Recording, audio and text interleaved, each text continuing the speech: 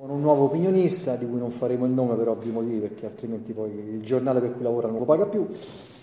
E pare che per, sto leggendo questa mattina che per problemi burocratici l'arrivo di Dumbia Seydou slitta.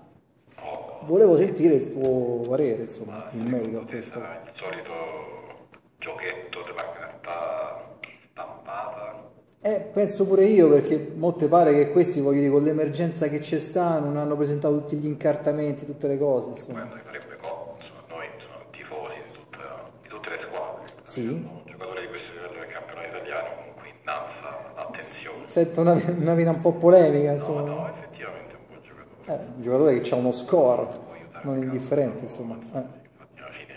Poi si conosce con Gervigno che gli fa le traduzioni, no? po' di curiosità, insomma, vedere se è stato un acquisto azzeccato oppure C'è, c'è. uno dei tanti non... Quindi tu dici di non preoccuparsi, insomma. No, io spero e dico insomma, che, che è una chiacchierata. insomma. Il chiacchiericcio romano, il solito chiacchiericcio romano. La Coppa d'Africa organizzata, i documenti tutto il resto. Per tempo di festeggiare pure un po' in strada, insomma. Ah, insomma, Ah. si riprende, se no dai festeggiamenti. Eh.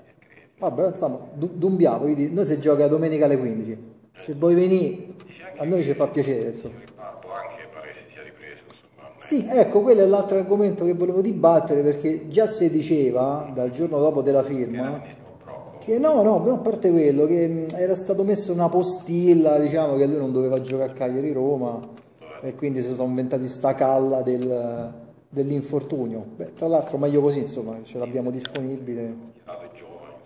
Ecco, tra l'altro abbiamo scoperto il giovane verde, quindi va bene così. Abbiamo vinto, quindi siamo contenti.